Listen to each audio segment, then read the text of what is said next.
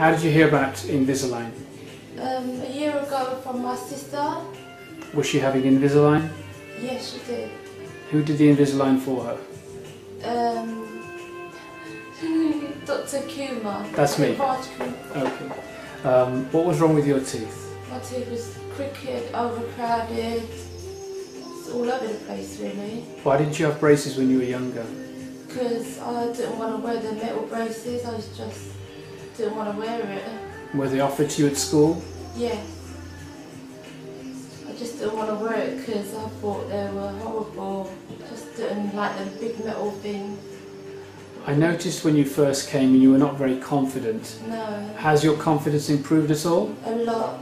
I was really shy before, I didn't like talking to people. I was just scared they might look at my teeth, but now feel so much better about it. I'm not shy at all now. You're near the end of your break. Um, has anyone noticed when I took the tooth out that you had a gap? At first it did because there was a big gap, but now no one notices it. They, no one notices it at all now. Not even I notice it. Yeah, What does your family think? they, they think it's really good. They love it. They thought I should have done it when I was younger.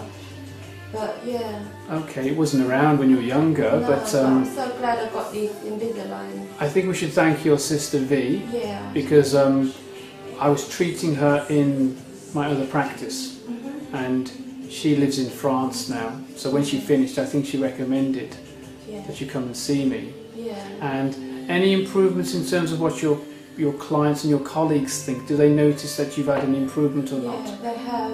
Before I used to always wear a mask covering my face, but now like I don't wear a mask. I talk to them more. I'm not shy.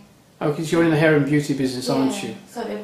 quite. Clients are happy, or you're getting more clients, or how do you feel about work and, Yeah. and with Invisalign? Yeah, they feel good because I talk to them more. Before I was shy talking to them, but now they feel comfortable talking to me. Yeah. Okay, Mm. thank you very much. Thank you. Thank you.